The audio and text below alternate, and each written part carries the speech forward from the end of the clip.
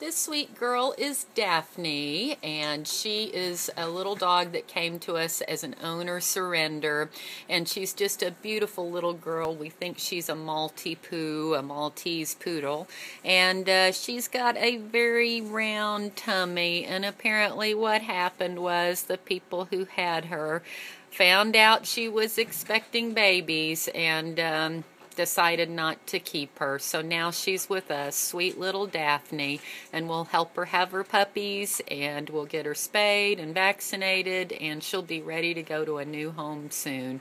Sweet little Daphne.